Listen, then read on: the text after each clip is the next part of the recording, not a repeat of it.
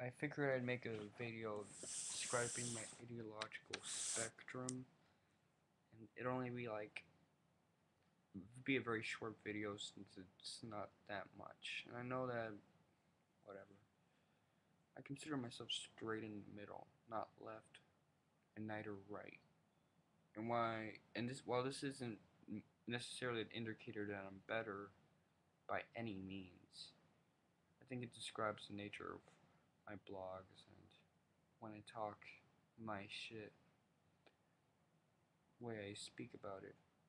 See, I have the elements of leftism in regards to how I speak about class struggle.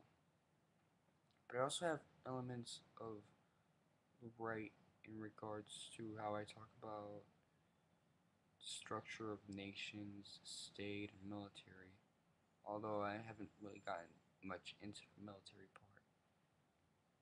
I think that's probably because I'm focused on ideology too, which could be considered right wing too. They talk about ideology a lot. And that's structuralism.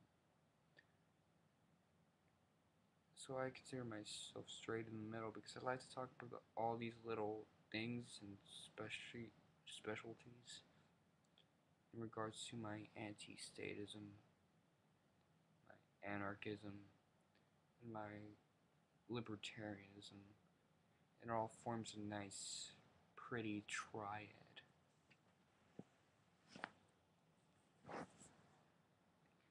And just so that people know, I'm leftism doesn't mean liberalism, just as rightism doesn't necessarily mean conservatism that's something that's thrown around a lot.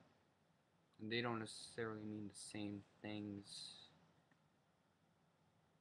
I consider myself an advocate of liberty, a person who prefers the longevity of the nation, which is why I'm anti-statist.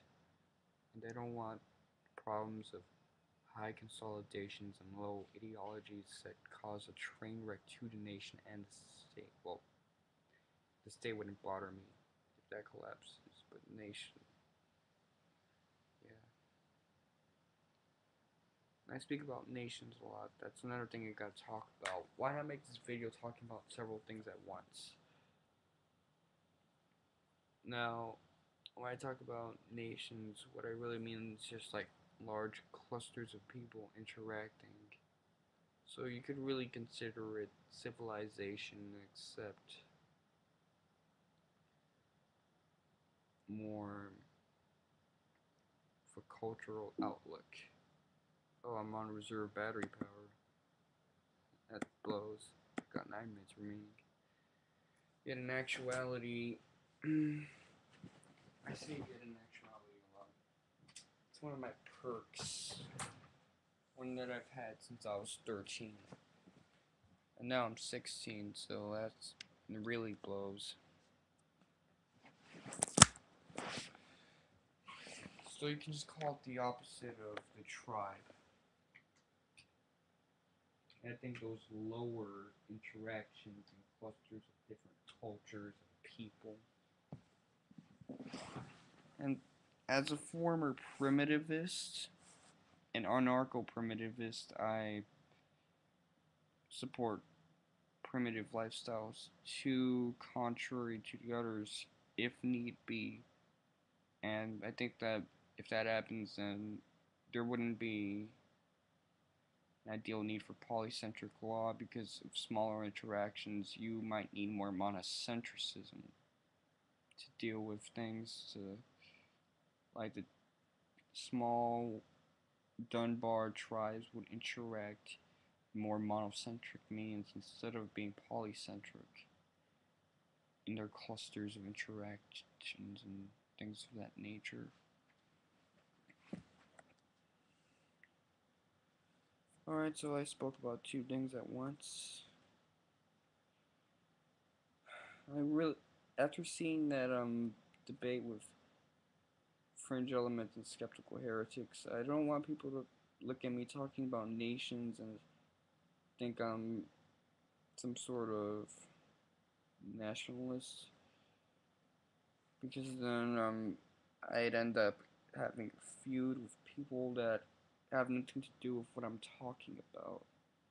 That's basically anarchism, anti-statism, and libertarianism, which, yeah, I value a lot.